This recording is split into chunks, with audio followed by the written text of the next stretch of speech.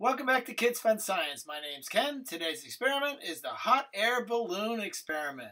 As always, adult supervision is required.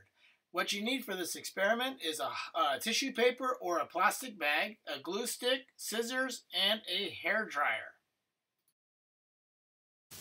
Hi, and welcome back to Kids Fun Science. My name is Grace and Ken, and today we are doing the hot air balloon experiment how heat rises. So Grace is setting up the, on the base here, or the rim, the, the metal wire gets hooked on these clamps right here.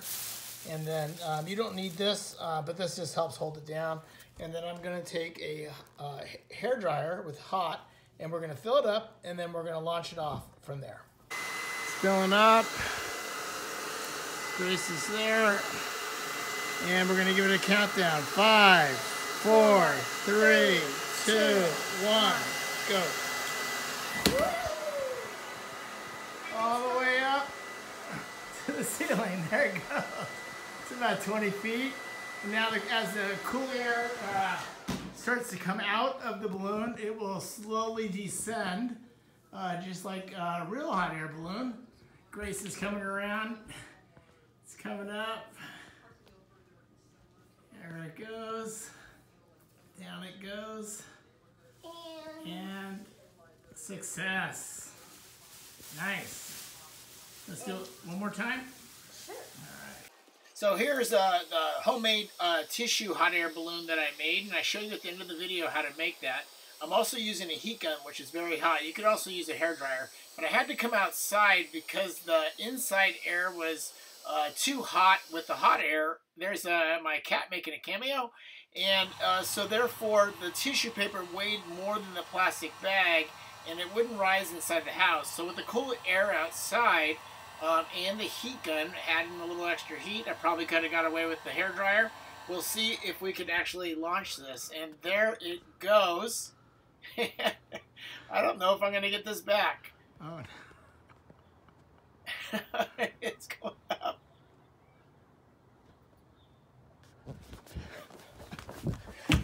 No, it over the house.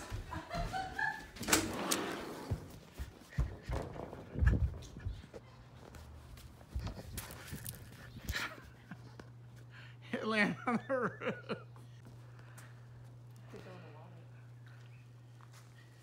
There it goes. Don't get caught.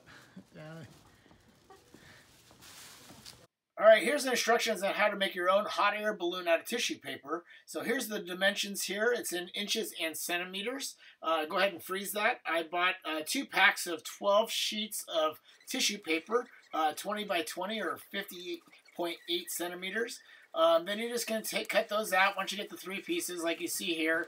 Then you're going to take a glue stick, um, I, or you can use tape, and then you just kind of put it right at the end, and then you repeat this five more times. Um, then you're going to take your glue stick again, and you're going to just run the, the end of one of the sides, and you're going to take a second piece, and you're going to uh, continue to do that with a glue gun until you get all the way to the end. Um, as you can see, I'm just doing about a third of the paper at a time, and you kind of just pull it up um, to arc all the way there, and it should even out right there. Then you're going to repeat that five more times, and here's your end result. This is your hot air balloon, and um, the hole in the bottom is a little too big, so I made a seven-inch uh, circle, and then I kind of just taped it on with some uh, painter's tape so I could take it off later. Here is my first attempt with a tissue uh, hot air balloon as I ended up going outside because it was too hot inside with the heater on and the hot air and it just did not want to float because of the weight of the tissue paper. I hope you enjoyed this video. If you did, please share and like. Thanks for watching.